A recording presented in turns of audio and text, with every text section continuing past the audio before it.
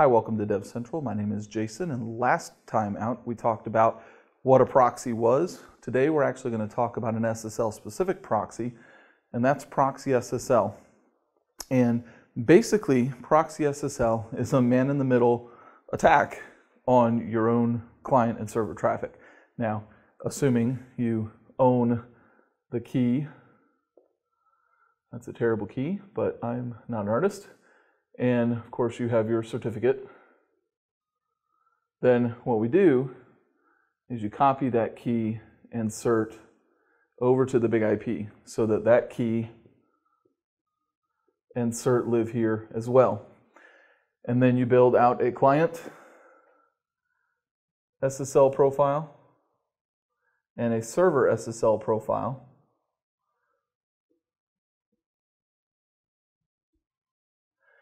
And then on that profile, on these profiles, you put the um, the server private key. So the server key, the server cert, and then you check the proxy SSL box. And every other setting, just leave alone. But you create a specific profile for the, the proxy SSL uh, on client SSL, server SSL with these settings. And basically that what, what that allows you to do then is you, when the client connects to the server, the client will handshake directly with the server. And the BIG-IP will not get in the way of that communication. And so this is the handshake. And then because the BIG-IP has the server key, it can derive the keys for client and server to uh, do the decryption and then the re-encryption. So you have, after the fact, this relationship of bulk, decrypt, and re-encrypt. And that's essentially what the proxy SSL solution does. Now what that allows you to do is for um, server solutions that require client authentication. Uh, you can let your servers do that. You don't have to bring that to the BIG-IP. If you have uh, authentication that you, you have backend processes to do, then the server itself can do all that client authentication. Uh, one of the other benefits of proxy SSL is that if um, oh, that uh, you know you're not you're not doing all the the heavy lifting for the handshake uh, you're just doing the, the bulk encrypt decrypt on, on your platform. Now we make custom hardware to be able to do that on the BIG-IP, but for whatever reason you want to do that, um, uh, that handshaking on your backend system, the proxy SSL solution will work for that. Uh, a couple uh, requirements for the proxy SSL is you, you have to have that, that server private key, and also you have to use non-ephemeral um, ciphers. And so you're, you know, you're looking at RSA ciphers for that. Another proxy that we're going to talk about uh, for SSL is the SSL forward proxy. And this is, uh, again, on the client side. We talked about forward proxies being more client side. Uh, so it's client, and then your forward proxies are kind of your network edge of like an enterprise. And then it goes out and, and taps out or reaches out to the, to the servers out there in the world. And so what the SSL forward proxy does is you have, say, google.com, uh, if you look at their trust relationship is GeoTrust certificate authority. Well, your, your browser clients, almost all clients are going to they're going to have a trust relationship with GeoTrust.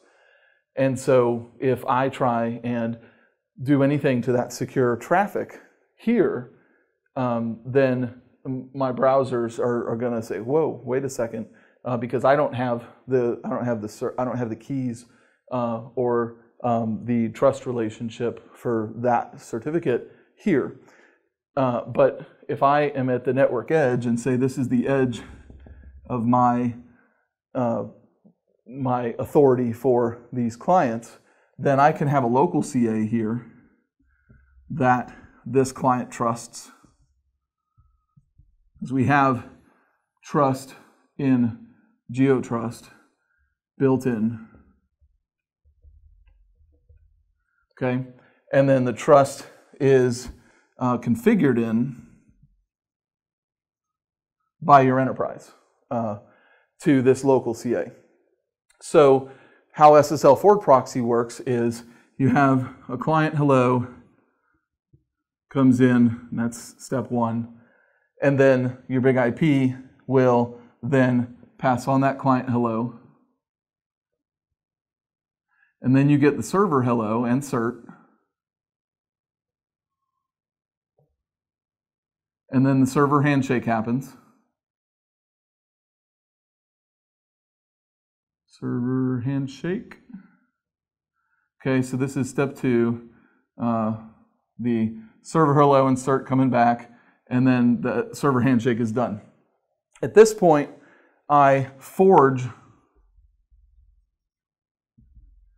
You think about Lord of the Rings and forging the one ring. So here we're forging a certificate for google.com. And we are doing that with the trust relationship with this local CA. So this is step five. We forge that cert. And then we pass on the server hello and cert. And that's step six. And then, of course, you have the server handshake. Um, or, I'm sorry, the client handshake finishing out. And so now we've built a trust relationship that we've just moved the trust relationship from here closer to our clients. And again, Forward proxies are there so that you can put a service layer in here on your BIG-IP so that you can do things like inspecting secure traffic. Now, uh, the great thing about our SSL forward proxies is there are uh, by policy, you can have bypass so that, uh, you know, if you don't want to uh, look at bank stuff, if you don't want to look at health stuff, uh, any other thing that you might get into some legal issues, if you start to inspect those things, then you can bypass those uh, by policy. Um, and, uh, and this is completely transparent to the end user as long as you've built this trust relationship between your client and your BIG-IP. It's, uh, it's completely transparent. So hopefully, uh, looking at how these SSL proxy solutions work has been helpful. We'll see you out there again next week.